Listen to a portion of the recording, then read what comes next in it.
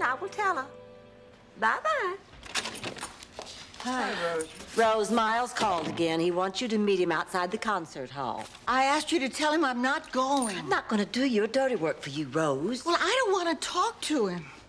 He makes me feel foolish. I don't even feel comfortable telling him St. Olaf stories. I want to know exactly what he said to make you feel that way.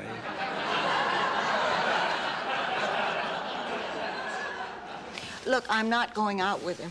You go, Blanche. What? Well, you like him. I know you do, so you go. What? I couldn't. Of course she couldn't. You stay out of this, darling.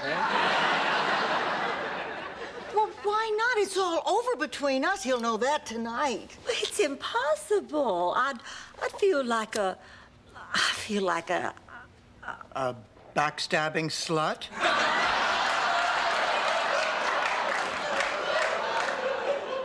No. then please go. For me, I'll feel better knowing this thing is finally over with. Well, since you put it that way, uh, but only as a personal favor to you, honey. Well, I guess I better go get dressed. Thank you, Blanche. Can you believe that backstabbing slut?